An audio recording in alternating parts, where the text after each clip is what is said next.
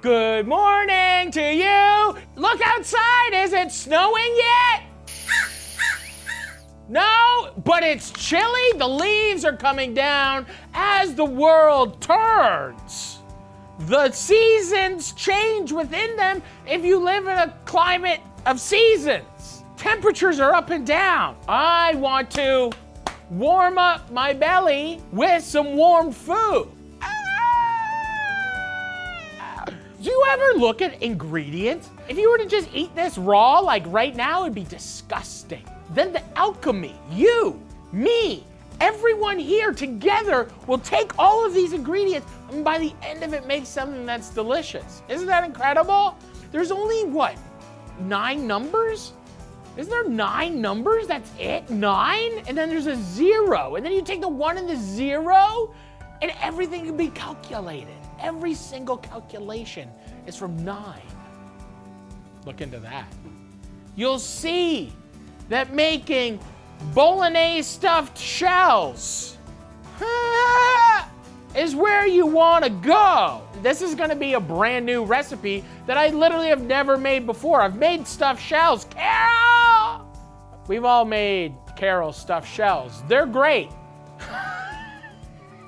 This is bolognese stuffed shells. Cooking something. Matty Matheson.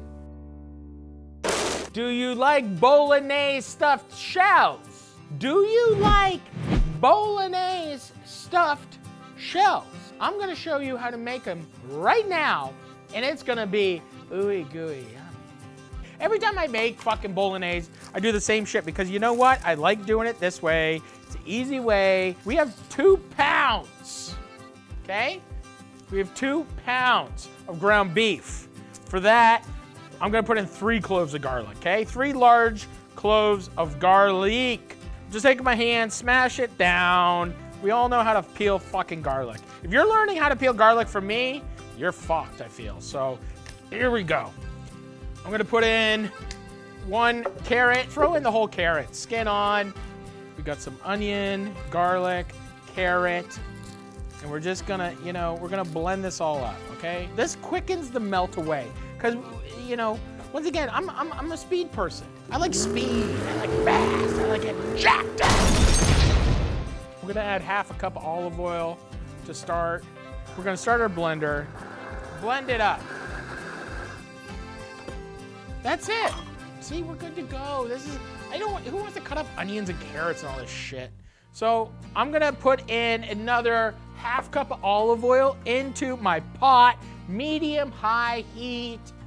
We're gonna pour in our onion, garlic, and carrot into the oil. We're gonna bubble this up.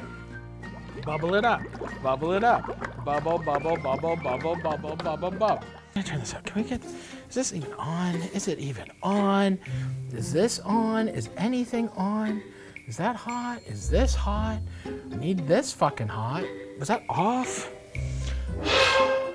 okay, so we're just looking to melt away our onion, our garlic. We're gonna take our beef. We're gonna mix that. There we go. And so you mix this up, okay? We're gonna mix this up. Look at this. Oh yeah, this is fucking good shit. And then we're gonna fucking turn this up high heat. We're gonna crank it. And then we're gonna reduce it. And then we're gonna add some milk. And then we're gonna reduce it. And then we're gonna reduce it. We're gonna reduce it. And we're gonna reduce it. We're gonna reduce it. And we're gonna make sludge. In the comment sections, like, where's sludge? Where's just a dash three? Yeah, I'd like to know too. Okay? Is there a billionaire person out there? We don't even need a billionaire. Is there like a multi-millionaire out there that loves just a dash that wants to just pay for it and make the craziest season of all time? Because sludge needs to live. Maybe this water will boil one day. I have no idea what's happening with this. This is insane to me. Every time you cook, every time you cook, it's like, what the fuck is going on? That's what I say. Oh, look, this is maybe starting to boil now. Okay, this beef is getting to the point. See this? I'm gonna make a little well in the middle. A lot of hot oil down there, okay? I'm gonna just take, I want it a little spicy. So a pinch of pepperoncinis. We're gonna do, I don't know, two tablespoons of tomato paste, and we're just gonna work it into the well and just fry it up in that middle oil. And then we're gonna add tomato puree. Not a lot, just enough to give us, oh yeah. Little beef stock, about one cup of beef stock. This is gonna freak people out. I got a little Worcestershire, okay? One, two, three. This is gonna freak people the fuck out. Soy sauce. One, two, three. We got some fresh basil, plop it in. Fresh cracked pep, it'll be nice. Big pinch of salt. I got a block of parm, guess what? Take the rind off of it. This is gonna give it some funk. It's gonna give it some salt, gonna give it some love, earthiness, beautiful. Little Parmesan rind, throw it in there. We've done the heavy work. We've set ourselves up for success. And then when, once we reduce this halfway, we're gonna add milk. Then we add the milk, then we're gonna reduce that again. We got a little bit of bubbles here. So how many of these are gonna fill? Let's just see, we're gonna make a tray. So maybe four across, four across, four, eight, 16, 24, 32. 32 shells. Okay? We're just gonna plop them in some water. We're gonna par cook these. Have you ever seen Pan's Labyrinth? That's that. That's that. I'm a baby root underneath a bed. Let's do uh, a couple little salts in there. Okay? A couple salts in there. So we gotta cook these a little par cook. Just get them soft. So we want to reduce this slowly, not crazy town. You don't want to fucking boobling, bubbling, uh, fucking everywhere. We're starting with a lot, a loose bolognese, and now we just reduce this. About takes an hour. This is the one hour bolognese. All right, hello, everybody. Guess what? Our shells are done. A little firm, a little soft. It's a half hard situation here. But we, we want to just cover this with a little oil so they don't get sticky. We'll just give this a little push around.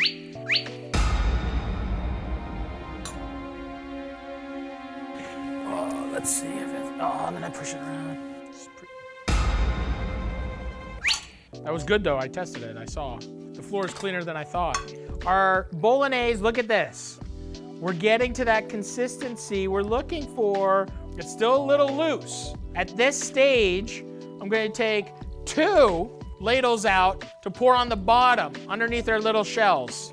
We're gonna add one cup of milk, homogenized, 3.25. Ooh, yeah. That's the good stuff. We got one cup powdered Parmesan cheese. We got about a half a pound of butter. Throw that in there. We're just gonna stir this up. And you can turn the heat off. And look, and look. So let's try.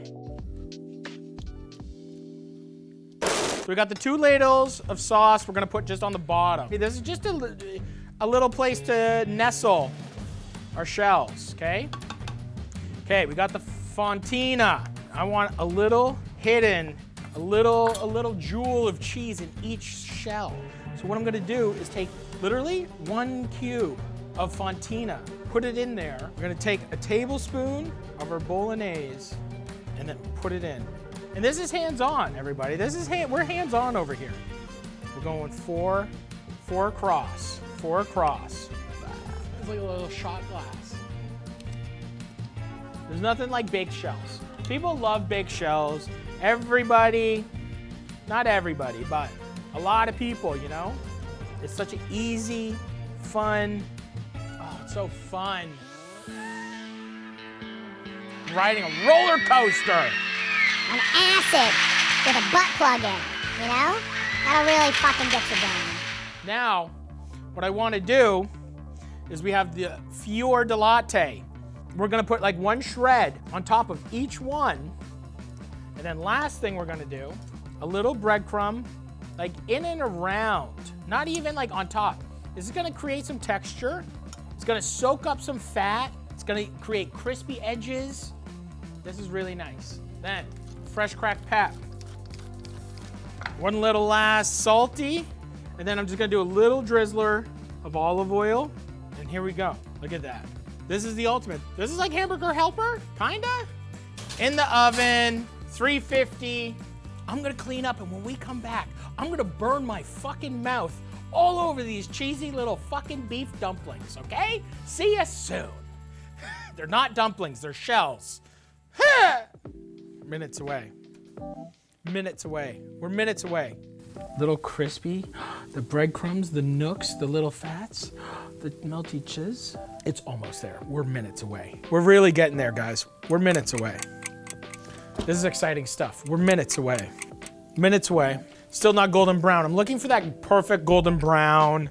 This isn't like lasagna, those burnt edges. Because it's once again, it's just like a loose meat sauce underneath. The breadcrumbs, the filled shells. Oh, it smells so good. It's not ready yet. Minutes away. Patience is a virtue. It's not just given.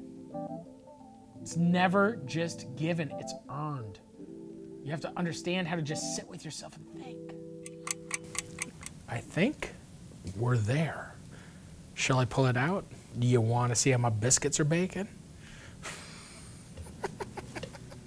Landscape of love. Crispy, perfect meat shells. Fontina, fior di latte, crispy breadcrumbs. So this is exactly what I was talking about here. Watch this. Look at this. Oh my God. Look. That golden hue picking up all that fat. Look at this. This is beautiful. This is literally like oysters Rockefeller. Okay, let me try to. Oh, yeah, here we go. Look at this. Look at the inside.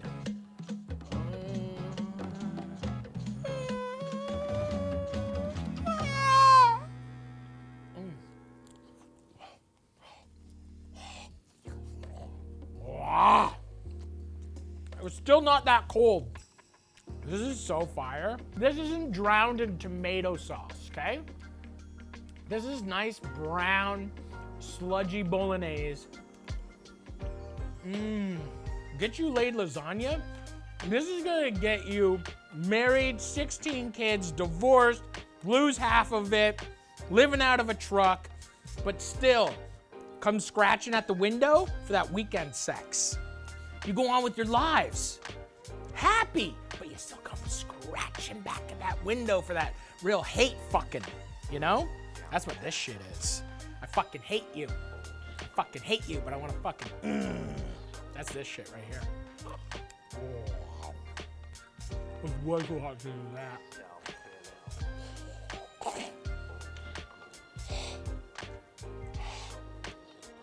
One of the greatest things I've ever made in my life. You're welcome.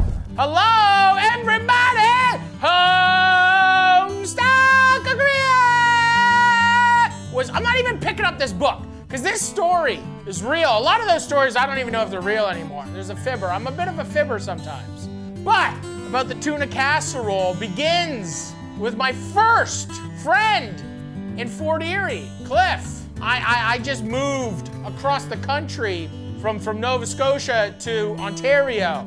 I went down with my basketball. Across the street was an elementary school. Just was like, hey, can I play? Two kids. I was 11, he was 11. And we started playing basketball. And from there, I was like, hey, I'm gonna go, I got my new best friend. I was so excited. We go home, and his family was amazing. First of all, it was crazy because it was the first time I think I ever heard a British accent. His parents were British. It was like I couldn't even understand. It was like, what was happening? The first time ever going over to their house, they had a baked tuna casserole. The first time I ever had tuna casserole, I was in love.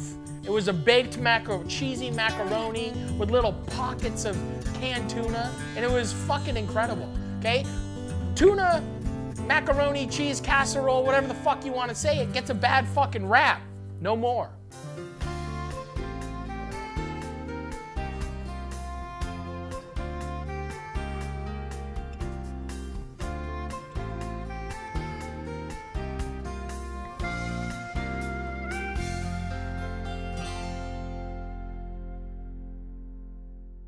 So, first things first, let's make a row, everybody! Wait, why am I I'm starting with fucking flour. No, Matty! Shut up!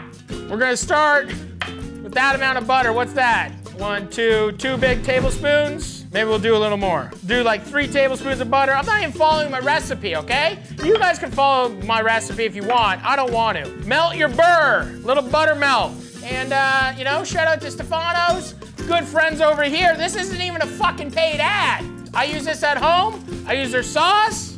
Nice people. There you go. Send the check if you want. But these are just my homies. So we're gonna add a bag of macaroni in the pot boil water. A little salt, no problem. Give it a stir. Okay, calm down. Give it a stir. We're cooking macaroni. Give it a stir. We're cooking macaroni. Give it a stir. Cause you don't want your noodles. You don't want your noodles sticking to the bottom. There you go, full song. That's a full song for you guys. Now we're gonna add our flour. Three tablespoons of flour. Whisk this in. Da da da da. Cook this out. We're getting a blonde roux going here. I don't want a lot of deep color just because we're making a Mornay sauce, but whatevs. Be very careful, this is very hot. Now we're gonna pour in some milk, whole milk. That looks like enough. What's that, like a cup? Cup and a half? So now that we added the milk, we gotta bring this up to a boil. Once it comes up to a boil, we will know the thickness of our roux. We're gonna add a little bit more milk. Let's get this up to a nice temperature. Then we're gonna turn it way down because we don't wanna scorch it. We're gonna add in some flavoring agent. Gonna add in a big old tablespoon of yellow mustard. Goes a long way, I feel. And we stir that in. That's gonna go a long way with making a cheese sauce. So now I got some grated Monterey Jack. Let's whisk that in. Okay, cheesy, cheesy, cheesy. Old, old sharp cheddar, about, you know, a cup to two cups of each. Beautiful cheese sauce here. Let's watch our macarons. I gotta finish making my sauce, so the macaroni's here. We're cooking it al dente, al dente, al denteus. So our noodles are done. Look at this cheese sauce. Beautiful cheese sauce. I'm gonna add a cup of cream cheese as well. So we're gonna just let that melt in. We're gonna add five beautiful cheese slices, because this shit makes it all come together. So we just peel these and let these all melt in there. If you don't wanna add these and you wanna be, you know, healthy or whatever you call it, you know, you do you. I think this is a great stabilizer. This makes sure that the cheese sauce stays, whatever's in this, whatever chemical or agent is in here, this makes the sauce real nice. We're just gonna whisk the cream cheese and the cheese slice. Oh. We're gonna add a touch of salt. There we go. What a nice Mornay. How, how, how easy is that? You got equal parts flour, butter, milk, add some cheese, Mornay sauce, cheese sauce. We got our pasta.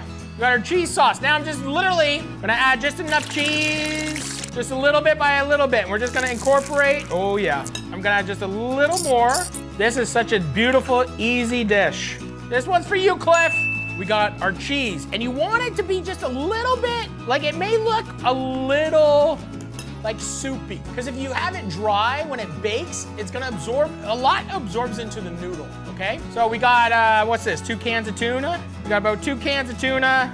So we, let's just incorporate once again. I want little pockets of tuna. This is just like, we're making a little bit. So I'm putting in about three cans worth. Okay, so the recipe calls for four cans. I'm adding about three. I just want little pockets of tuna, little pocket. Mm, I'm like a little alleyway kitty cat. That's how the kitty cats sound. I'm just gonna use my cast iron pan. Use a cast iron pan for casseroles, frying, whatever you want. So here we go. Oh, look at that. I'm gonna cover it just in some breadcrumbs, some beautiful panko. Panko. A little spritz of oil on top. There we go. Little oil. I'm gonna just do a little salt on top. Boom! Two-handed over the shoulder, boulder, holder. Can you even say that? Cast iron pan. Put your boobs in this, or your man breasts. Either or. Okay. okay, I'm canceling. Bye-bye. We're good to go. Put this into the oven. We got our tuna casserole pan, little panko, little olive oil on top, a little bit of salt. Going in the oven, preheated at five, how much? Preheated at 550 degrees. For some reason, we're gonna lower that to 400. I'm gonna do a little cleanup here. We got a tuna, beautiful macaroni cheese casserole coming to your face in a couple minutes. Keep your fucking dick in your pants and have a great day. We'll see you soon. I think it's ready. Babushka! This is what I'm talking about! I was just kind of blown away. I ate this casserole and it had like crispy breadcrumbs on it. Like I certainly never had like panko on anything, like nice breadcrumbs, I was just blown. And for some reason, I always remember it. So let's dig in here. Oof, look at that. This isn't like, this isn't pretty, but this is beautiful. That crispy panko with the creamy cheese sauce, that Mornay with the tuna. Let's try. Come on. This is the food that brings you back. You know, I'm just playing basketball with my best friend, no worries in the world, riding BMXs, smoking cigarettes in the woods, you know? That's what it's all about. A little hot sauce, just a little hot sauce. Here's a fresh crack pep. Here we go. Oh. Let's go! This is incredible. This, I'm so happy. This is so simple. Canned tuna, macaroni casserole. But look, like, look at this dish. You can make it in a cast iron pan. Did you get your Matty Matheson cast iron pan? the panko! The panko almost got me, but no. I would never let the panko get me. You know what time it is. Home style cookery. It's Sunday. Make a tuna casserole, macaroni. I love you guys. I love everybody, except for the losers. You guys know the losers out there, eh? Fuck off to the losers. I love you guys, though. You know what time it is. Spaghetti carbonara! What are we doing today, Matty? We're making carbonara. Sometimes I went to this place and they had this carbonara for breakfast and it had a fried egg on it. And it was like the carbonara breakfast pasta. And I was like, this is good, but you know what would be great? If it had a super soft, ooey gooey omelet on top. And you know who makes the ooeyest, gooeyest omelets in the world? Japan. Lisa, what's it called? Umarice? Omuretsu? Omulatsu? Omuretsu. In Japan, they got the omurice. The thing in my thinking, we're gonna get a little fusiony out here. So we're gonna have a creamy Japanese style omelet on top of the carbonara, and then I'm gonna slice it. It's gonna encode the whole beautiful carbonara on top. And then as you eat it, you're eating the beautiful eggs. And this is gonna go either incredibly well or incredibly horrible, where I'm gonna get very frustrated. You know what happens when I get frustrated.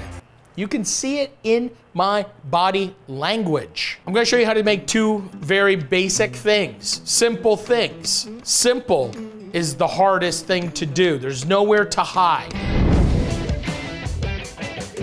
The first thing we need to do is we have our guanciale.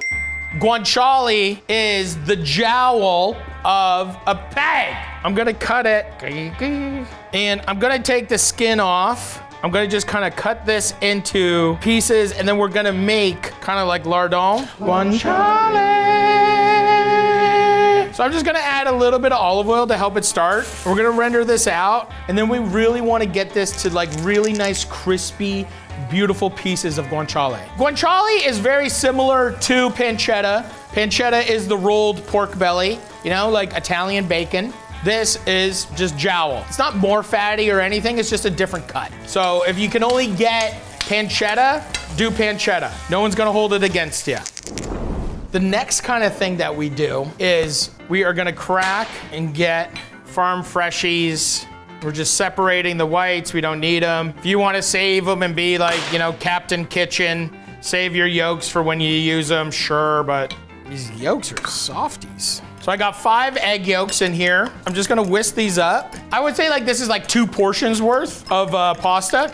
And then we're just gonna add some pecorino, kind of like one tablespoon of cheese per yolk. Look at that color. Mm. Then I'm gonna add fresh cracked pepper, so I'm gonna add a little bit of pasta water, temper these egg yolks and cheese. Then I'm gonna pour that in with our pancetta and our noodles. And then if this doesn't work, I've disrespected two incredible countries. Japan, very respectful. Italy, psychopaths. This is coming from a place of love. We got two portions. We know how to measure. You know, a little Cocksworth. Wait, we need to season our water. See, that's your big boy. That's your big boy. Matheson Cookware, that's your big boy. This is D's. You know, it's D's. Put your pasta in the water. na, na. Make sure it's long enough to like not go into the pot so then it cooks unevenly, but we're almost there. Look at this. Beautiful, golden, crunchy Ah! Mmm, mmm. Oh, guanciale, salty. Pecorino, salty.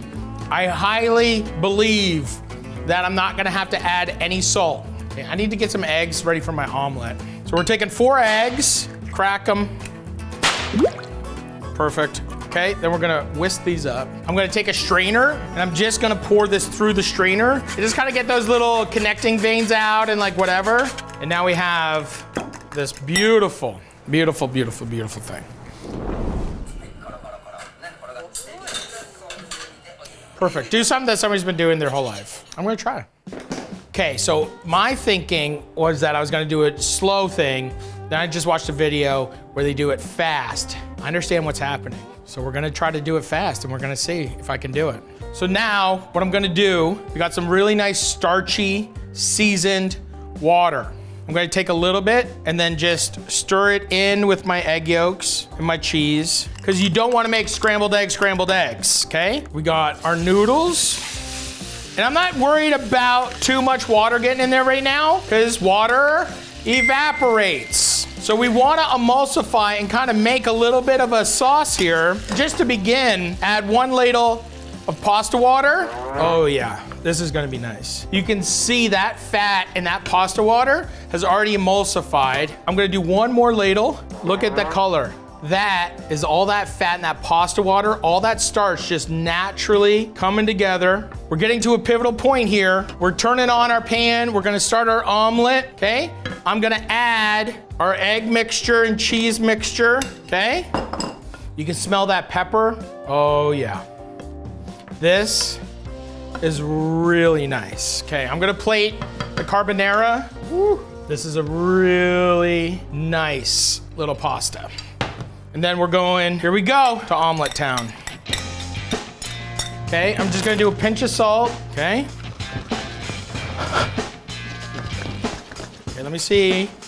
First time. Can't do it as fast as him, but I'm, you know. Okay, we're gonna start folding. He was putting it back and forth on the heat. I need some heat. It's not quite there. I think I could just still just fold. I don't think it's gonna explode like his. And then you gotta cut it right away. It doesn't explode. Does it look? There, it looks like it. First try. I got another pasta. I'll do it again. It didn't explode. Round two.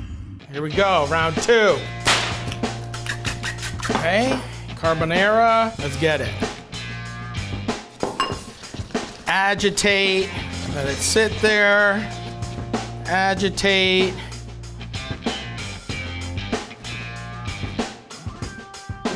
This ain't it either. Now here's our third one. Final round. So I guess we have like three portions.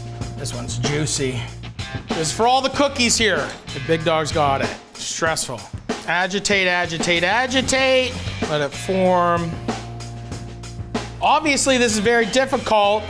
Trying to get it with the skin and then that perfect ooze. Fuck my life. I don't think this is gonna be it either.